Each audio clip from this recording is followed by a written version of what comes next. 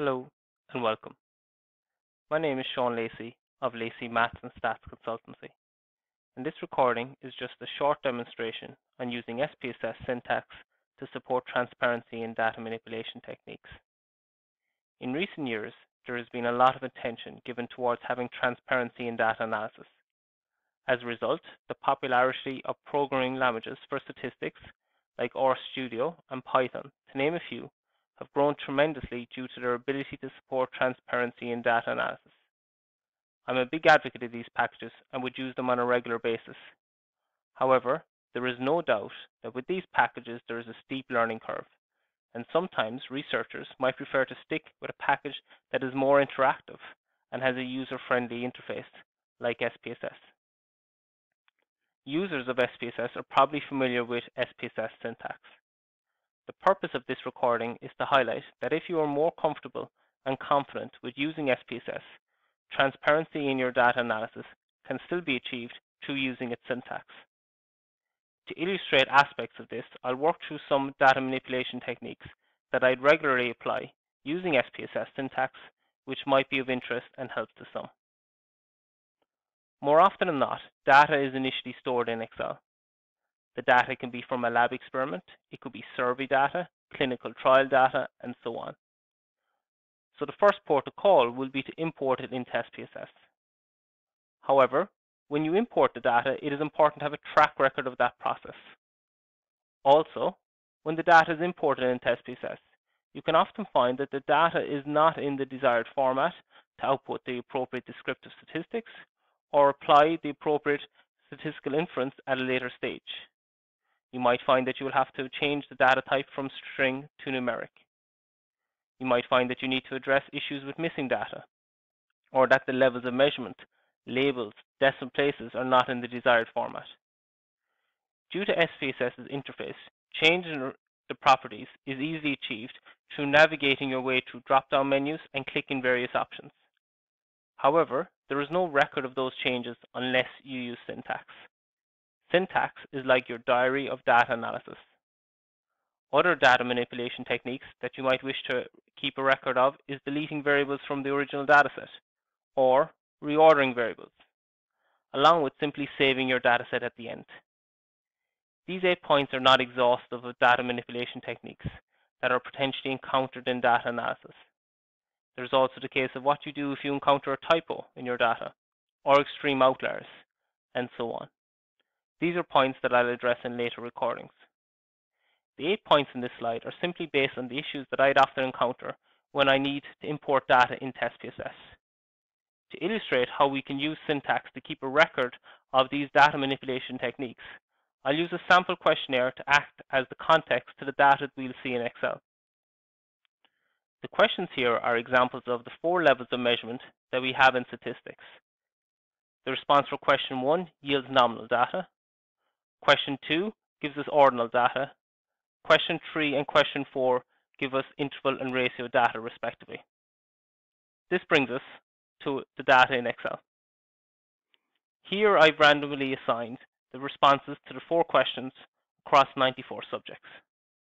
You'll see here at the very top, the yellow cells relate to missing values, which is where a subject did not respond to a question or on clinical trial data, it could be where a subject missed a visit in the study. The issue with this data for us when using SPSS is that the majority of the responses are text as opposed to numbers. In SPSS, we call these strings. Having your data type as string can lead to issues with some descriptive statistics and statistical testing that you plan on doing at a later stage. I would often facilitate training courses on introduction to data analysis using SPSS. In those courses, I would mention to the attendees that when it comes to changing the data types to your responses, that it is important to keep a record of any manipulation that you do. At this point in an introductory training course, I would mention syntax and how useful it is to keep a record of any data changes that you make. However, I wouldn't go any further, as I would feel if being introduced to SPSS, it is first important to get comfortable with the package and be confident in your ability to use it, and even more so, be confident in your interpretation of its output. And then, at a later stage, start thinking about the transparency of your results and using syntax. So when facilitating an introductory course, I would say after giving my syntax pitch, that if changing your raw data, do it in Excel. But make sure to keep a diary of any of the changes you make. This brings us to the second spreadsheet here. In this sheet, you can see that in the formula bar, there's a track record of how the raw data has actually been changed. Now, if you subscribe to this channel, you'll find all these files that I'm showing in these recordings are available to download if you wish to practice what I'm demonstrating yourself to make sure you can get the same results. The reason I show this is to say that this is what we're looking to get from the SPSS syntax. So we will return to this spreadsheet at the end and compare what we have in SPSS to what we have here. But the bonus of doing it all in SPSS is the track record, the diary, the transparency. So the first step is to import the data into SPSS. So if, if we open up SPSS, you can see here now I'm in the data view of an SPSS file and it's blank. So I'm going to open up the Excel file. I'm going to look to try to import the Excel file. Okay, so I'm in this SPSS syntax folder and at the moment there's no uh, presence of the Excel file because SPSS is looking for the data set. It's looking for the .sav file. So if I just click on the drop down menu here, I can see the various other file types and I'm going to select Excel. And then you can see here's the raw data one. So I'm just going to double click on this.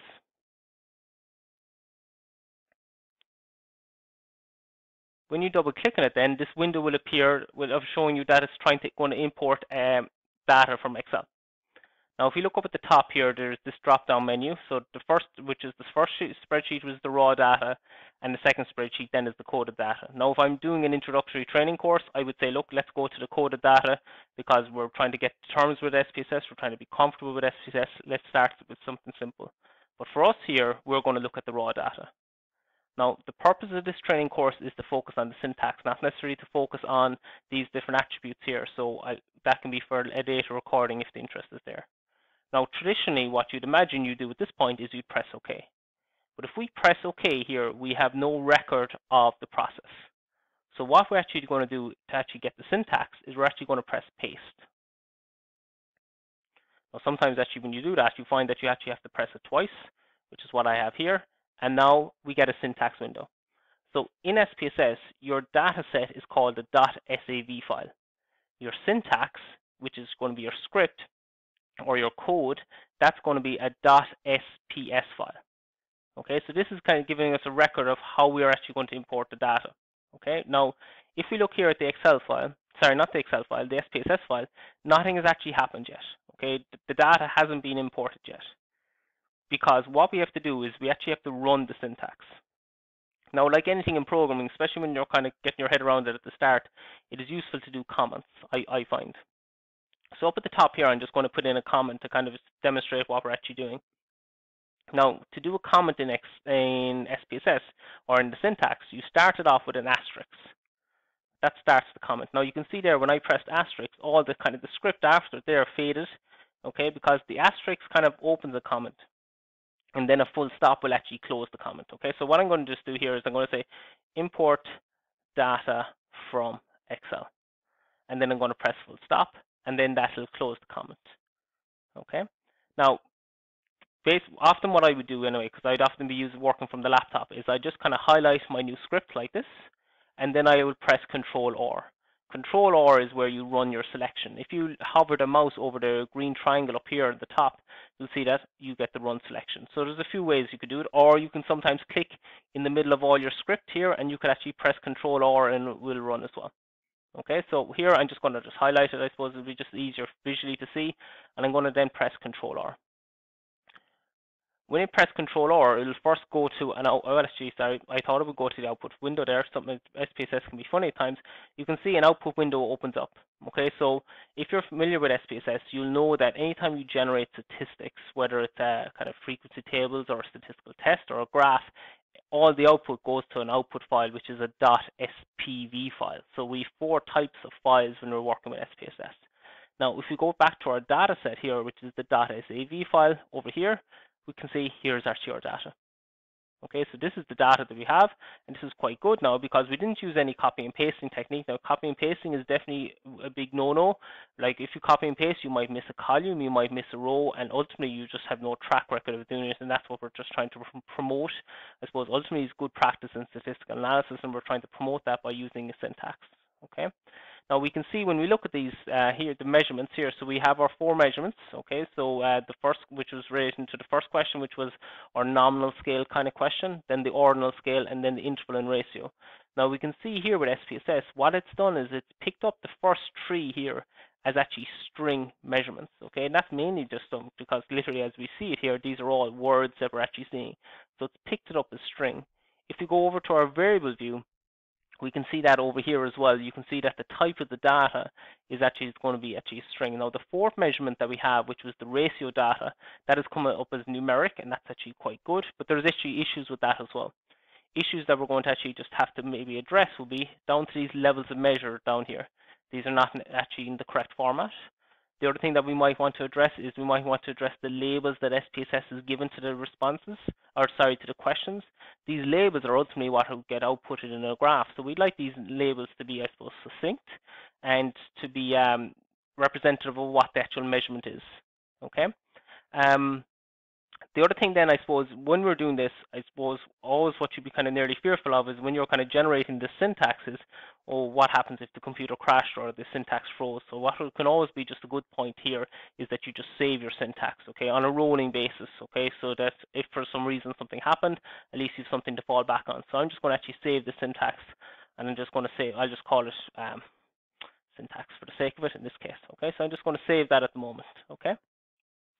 And so where we are at the moment here, if we go back to the the handout, or sorry, the handout being the, the slides here, we're just after covering the first step of where we're importing the data from uh, from AMS Excel, and we have the syntax for that. Now, the second step that we're going to look at addressing will be how we change the data types, which is mainly down to those three string me uh, measurements. We want to change them to actually being numeric measurements. And what I'll do now is I'm just going to break here for this uh, recording and I'll come back for part two where we'll address that. Okay, so come back to us uh, on that. Thank you.